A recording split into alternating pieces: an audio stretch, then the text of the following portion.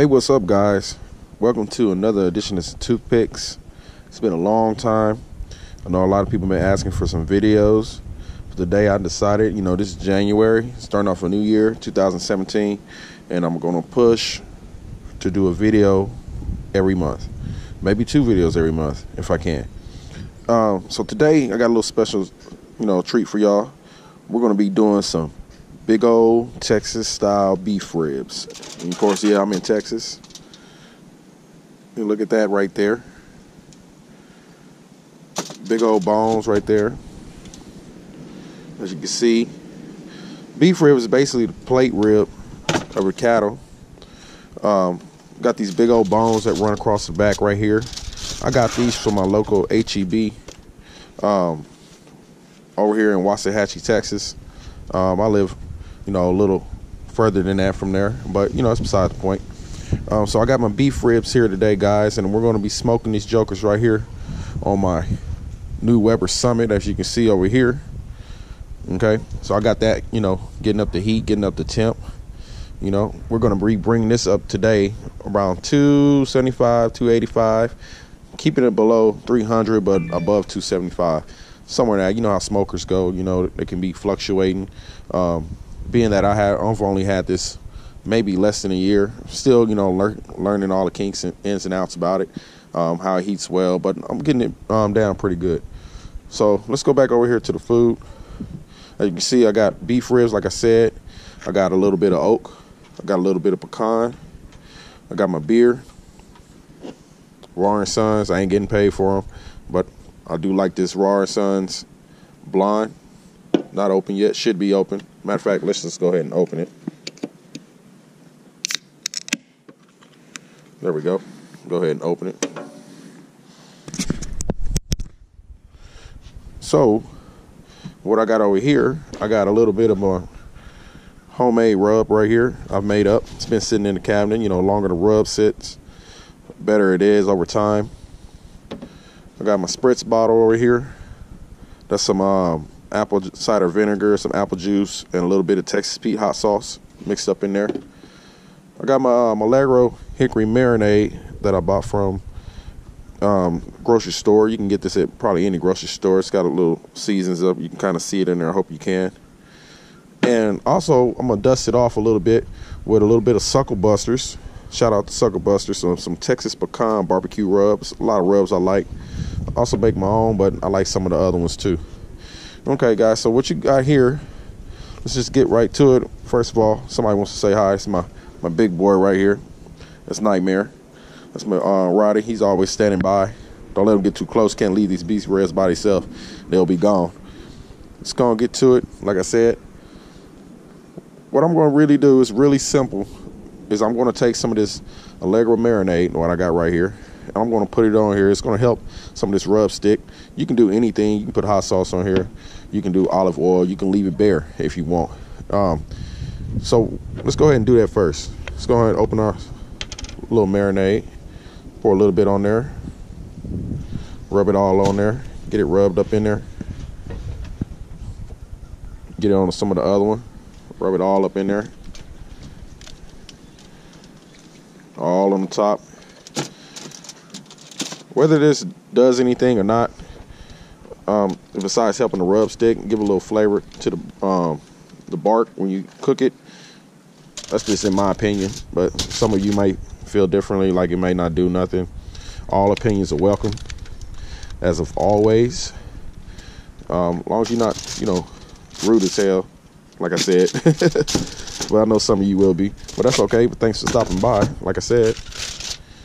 All right, so I got some of that Allegro on there. Put that back over there. All right. And if anybody wonder why I'm not wearing gloves, this is, you know, basically my own house is set. If I was using poultry or something or chicken, same thing. Um, I probably would be using gloves because I want to contaminate anything else. But I'm gonna try to keep one of my hands clean if I can, you know. And like I do, I always disinfect all my seasonings and my bottles and stuff uh, with some bleach wraps when I can um, after I cook. Okay, so I got that on there. So like I like I said, take some of this rub, get it to my big salt shaker set, and you know this pepper and stuff. all the light seasonings and stuff is going to shake, come to the top. So you got to keep shaking. So what I like to do, let's turn this over first. Let's get it on the back, okay? There's a membrane back here. I'm gonna leave that on there. Uh, reason being, um, it's really not gonna do nothing. You know, you're gonna be eating this meat off the rib itself. It's gonna kind of bunch up when it's finished cooking. It's gonna get that put all on there. It's really put as much as you want, guys. You can put any kind of seasoning. You can use salt and pepper, salt, pepper, garlic, um, any kind of rub you want. It whatever you want, you can put on here. Today, I just you know chose to put some of my homemade beef brisket rub. I do have a brisket going today. Um, turn that over. Hit the other one. The only brisket um, is for I'm making some brisket chili for work. You know, I'm over a little potluck thing, so we're um, making a little chili, little chili fest is what I call it. Not a cook-off, but hopefully everybody likes the chili they did last year. Okay, so after we got that on the back, we're gonna get this all here on the front. Well, on the top where the fat cap is, on the on the top. Get that all on there, guys. Shake this up a little bit. I want some of that pepper to get in there. Get all this rub everywhere, guys. Get it on the side, everywhere. Get it wherever you can get it. This is uh, not real big, thick cup, cup of beef. This is not like your um, your beef back ribs, the thinner cut. The plate yields a lot of more meat. Okay, so I got that on there, guys. Set that down. And like I said, I'm going to go ahead and dust this on the top with a little bit of this pecan rub. Dust that right there. Get that all on there. Let that set. Maybe I'll hit the sides a little bit. Let's hit the sides a little bit. On those bones. Where the meat is. Yeah, right up in there. Okay. All right, so I got that on there. Got your rub on there. Everything. So we're gonna come over here to the smoker. I can see my my temp up high is a little above 300, but I do have um, my Redi Chek right here. It's gonna put that on the grate. So what I do like to do, guys, once I got that done, let's go ahead and open this. Okay. I got my charcoal in there. Take some of these wood pieces. Put it all in there. A little bit. Get it going around. What you like to do, excuse me if the camera's going over to the meat, just get some of this wood all the way around as it cooks down.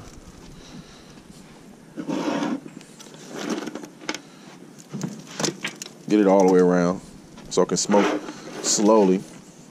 This method I got going here, guys, you can see Nightmare looking at us. You know, I got most of my heat on this side.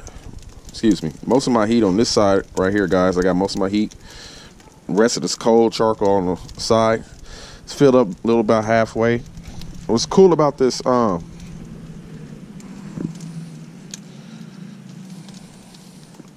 this smoker right here, guys, it's got a little baffle. I'm gonna set the baffle in there. These vents, they can go up and down, open and close, set more wood in there. I do have a pan of water. Let's put that pan of water on the bottom, catch some of those drippings. Woo! Excuse me, I got some of that smoke coming out. And we're gonna grab my pan well, my rack, not my pan, guys, my rack, set it on top. What I like to do now is kind of, you know, set my thermometer. Woo, gotta rub the eyes. Where I want to set it, probably right over here. Probably set it right over here, guys.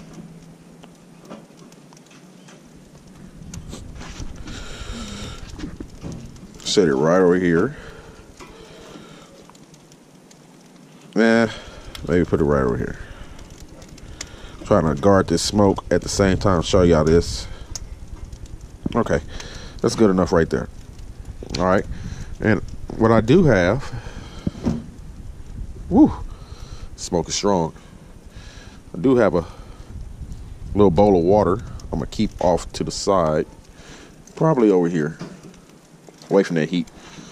Okay, so let's go ahead and set this beef ribs on here.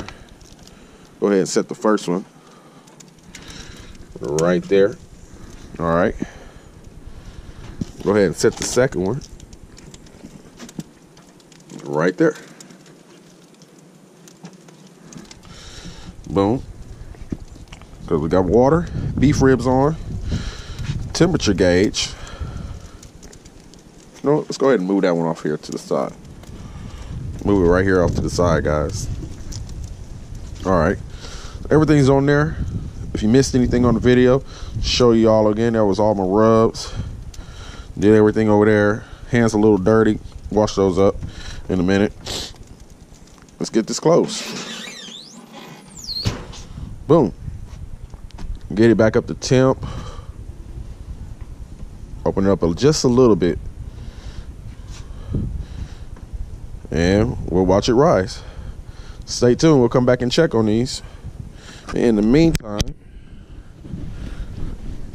we're to do just sit back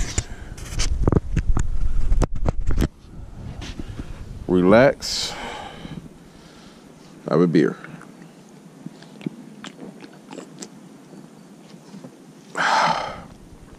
Stay tuned.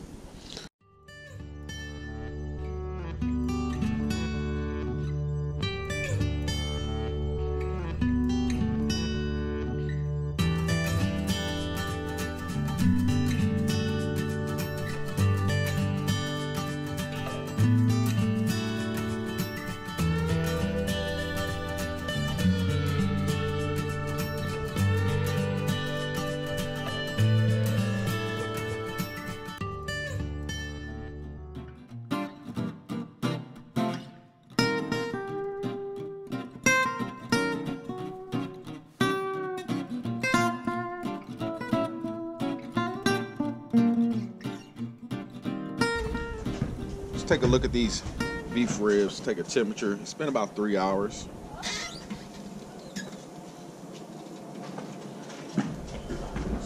Check the temperature. Got my trusty old ThermoPop. We're gonna test it right between the bones. About 183, as you can see. Try to find the thickest part. 164. Let's look over here.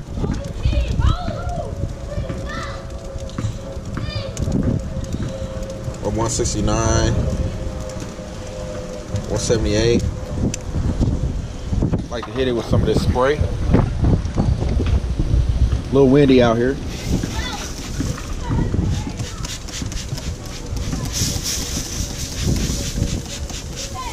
Starting to pull back. Looking very good. Stay tuned, we'll wrap them. All right, guys, I think it's time to it's been about an hour since I last checked it. Put it on about 10 o'clock. It's about 2 o'clock right now. It's about four hours in, maybe about 9.45, give or take. Uh, but I'm going to wrap it. I got some of this. I got some of this butcher paper right here. I'm gonna use, guys. Got another piece out here. It's real windy.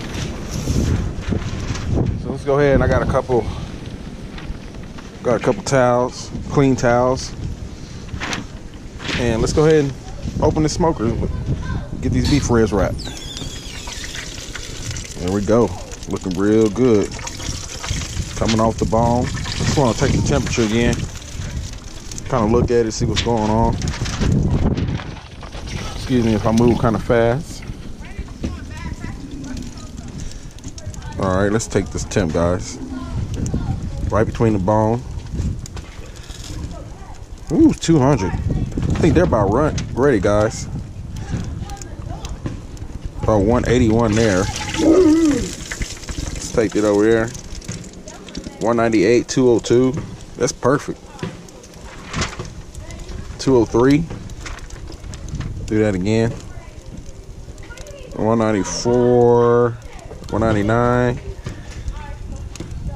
There's a uh, piece of membrane that's right through here, so pushing through pretty easy. Let's go and get these boys wrapped. Probably leave them on another hour and I'll rest them. Let's go ahead and get them before my paper blow away. Be real careful, don't want to put any juices anywhere. Hit it with a little spray. I like this paper, guys. I kind of went to it because basically keeps my bark kind of uh, crispy a little bit like I like it. What I'm gonna do, guys, found an easier way. Let's go ahead and turn this rib. Go ahead and fold the sides without trying to tear the paper. Okay. Bring this end over. Okay. And what I'm gonna do, guys, I'm gonna fold it again. And boom, there it is. Fold that again. Kind of mess up on you guys. I think I'm gonna lay these down the other way. Turn those over. Mess up here and there, but as long as we correct ourselves, we'll be all right. All right, do the same thing. Wrap again. That's better, just like that. Put them right back on the smoker. All right, get my other piece of paper.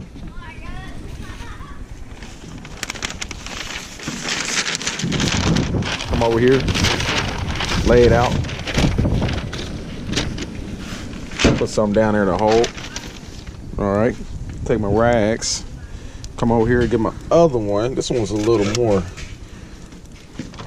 different. It's a bone hanging out of guys. This bone right here, I can take that out if I wanted to but I'm gonna be careful. I'm gonna leave it in. Fold it over the sides once again. Be careful not to tear the paper. Fold it back on stuff. As you see, I put the meat down first. That way I can hold the paper and can hold together. The paper can hold together and won't open up in the smoker. Close this again, guys. A little greasy paper. I'm gonna leave this on to maybe about another hour maybe. Come out and we'll put these in the cooler and let them rest. And then we'll cut them up after that. Stay tuned. What's up, boy? All right, guys, so we're back. Gonna take these off. I think they're about at where we want to be, like 198, 203, 200, different spots. So let's go over here and let's um, put it in this towel and put it in our cooler let it rest before we um, cut it open and see what it looks like sit here and open this Alright, take these off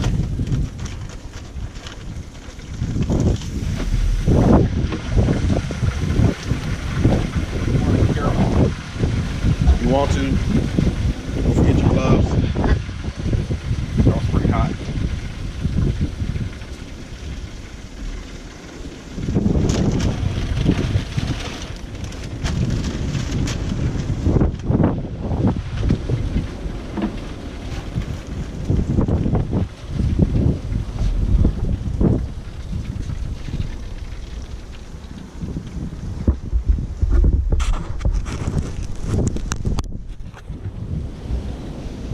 Right, so what we're gonna do now, like I said before, stack these like this. Get you a clean towel, make sure you do that. Wrap this up pretty tight. Tuck it on the bottom, tight as you can. Set it down in my cooler.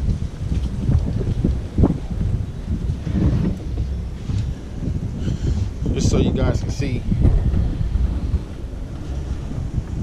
right there, my cooler right there. Get it closed. All right, guys, so we're back. I rested these beef ribs and they're all wrapped up. So let's see what they look like. Go ahead. I don't need none of this paper, guys. Just tear it open. Man, they look real good. You see, they pretty tender the way they been. I'm gonna take it out. I'm gonna place one on there. Go ahead and open the other one. Tear. Tear that one over. That way I don't have a lot of room to unwrap. Stack that up. See that bone's coming out there already. As you let these rest in the um, cooler, they tend to keep cooking. But what we're gonna do, we're gonna go ahead and cut into one. All right. So cut right between the bones.